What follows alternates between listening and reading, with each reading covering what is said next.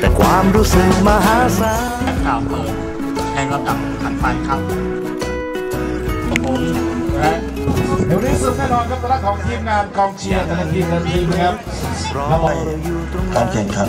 รอและเธอกับบรรลุฉันเป้าหมายไปคนไปตามทุกประการปัญชาที่ครับครั้งที่หนึ่งนะครับก็ถือว่า ผู้ที่มาแข่งขันนักกีฬาส่วนใหญ่แล้วเป็นชุมชนนะครับ ทั้งหมดมี14ชุมชนนะที่เราแข่งขันกันเดือนมีดาวมีดอยข้างล่าเล็กๆแต่ความรู้สึกเชียร์ท่านครับกองเชียร์นะครับวันนี้เชียร์ให้สุดวิกฤตโก้